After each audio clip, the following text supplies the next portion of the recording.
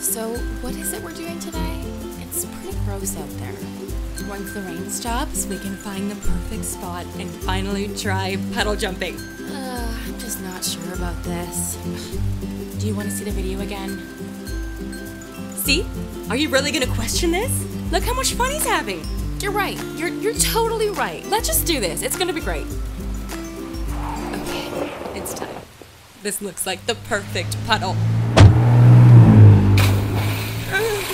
this was a terrible idea. Why did you make us do this? This was not fun at all. Nothing like the video.